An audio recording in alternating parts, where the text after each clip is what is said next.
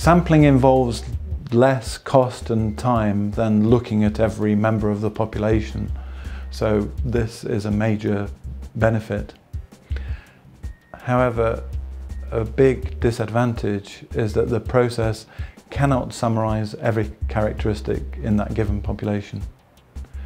It may also suffer when there is a shortfall in data available for analysis from specific groups. A procedure called weighting is used to correct this, but in turn that can affect the results.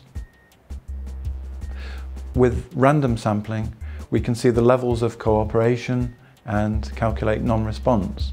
This tells us how accurate our results are at the analysis stage.